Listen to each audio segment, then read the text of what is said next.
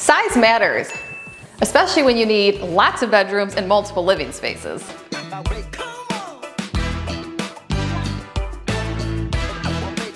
This is Eric Kaneda with Your Home Cupid and the Minton Real Estate Group. Welcome to 3131 Paysage in Traverse City. We got five beds, three baths, and a stellar location. Let's check it out.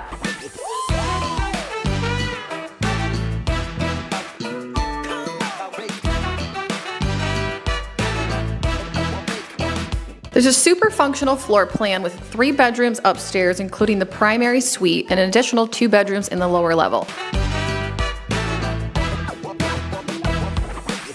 Here we go with size again. The lower level has two additional living spaces and another two bedrooms, along with some large daylight windows that lets the natural light pour in.